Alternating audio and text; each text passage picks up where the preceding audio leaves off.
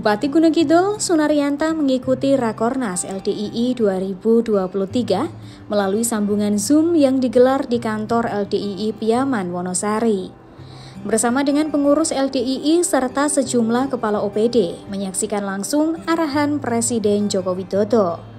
Rakernas LDII tahun 2023 digelar di Grand Ballroom Minhaju Rosidin di Jakarta Timur Selain mengevaluasi dan mempertajam program kerja, Rakernas digelar untuk mencari solusi berkelanjutan untuk menyambut era tinggal landa 100 tahun Indonesia.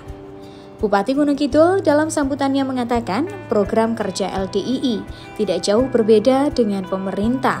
Salah satunya menyiapkan SDM menjawab tantangan global – Bupati juga menegaskan Rakernas LDII 2023 diharapkan bermuara pada pembentukan SDM profesional religius dan kemajuan bangsa. LDII dapat bersinergi dengan pemerintah Kabupaten Gunung Kidul berupaya menyiapkan SDM untuk menyambut Indonesia Emas 2045.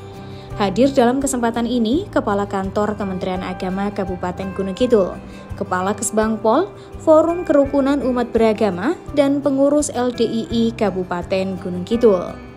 Demikian, Daksi Narga TV mengabarkan.